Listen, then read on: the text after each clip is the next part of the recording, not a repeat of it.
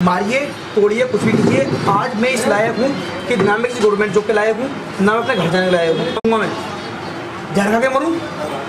ये बम हाथ में लेके चलो कि मैं कसाब हूँ। कैसे ये लड़का पुलिस की गलत फहमी का हुआ शिकार? सर सिंपल सी बात है मेरी ज़िंदगी खत्म में है। मेरी ज़िंदगी खत्म में नहीं हो गई सर। सिर्फ़ एक कॉल ने लगा दिया ज़िंदगी पर बेइज्जती का दाग। जरा इस लड़की को देखिए कैसे पुलिस से रहम की भीख मांग रही है।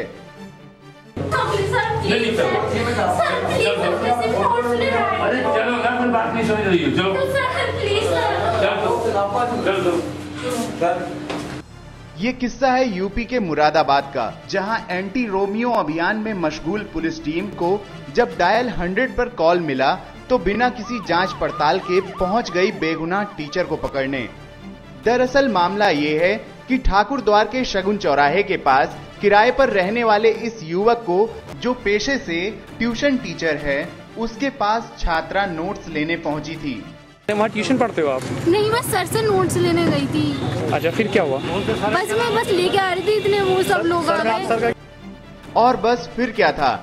किसी ने कॉल कर कह दिया कि मकान में रंगरेलियाँ मनाई जा रही हैं। अब आप खुद देखें कैसे ये लड़का अपनी बेगुनाही का सबूत दे रहा है? चौहान देवीर से चौहान मेरे बाप का नाम है। अच्छा। पाँच तारीख मेरे कोचिंग खुलनी है। Thakur Dan Priyansh English classes Delhi coaching करके आया हूँ। ठाकुर डायमेंशन नालंदा में पढ़ाया है। और अगर आपको ट्रस्ट ना हो तो करणपुर और सुल्तानपुर गामड़ी और टरकुपरा कॉलेज पर। मेरे फ्लैक्स मेरे नाम के मेरे फ़ोटो के शकल के फ्लैक्स लग चुके हैं। वो लड़की मेरे रूम पर आई है सिर्फ़ नोट्स लेने।